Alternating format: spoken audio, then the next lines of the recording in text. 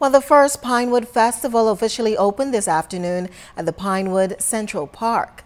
Authentically Bahamian dishes, drinks, and sweet treats were available for patrons to enjoy. Kids enjoyed their favorite cartoon characters and even a zip line. Several bands, including the very popular Urban Renewal Marching Band, made a show-stopping performance. This inaugural event honors Grammy Award-winning musician Isaiah Taylor of the group Baha Men. He's a 30-year resident of the Pinewood constituency, and he still lives there today.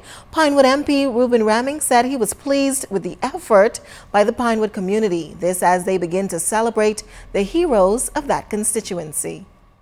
The mere fact that every stall here is representative of a street corner shows that when these people were coming together in committees and discussing and hashing out the problem and saying how we want to execute this and bring this together, the fact that this is happening means that there was a common thought and there's a spark of unity. They're excited about each other. Not only will it bring economic income, but it bring discussion and unity and focus. And so alone, this represents the change that we want to see in Pinewood.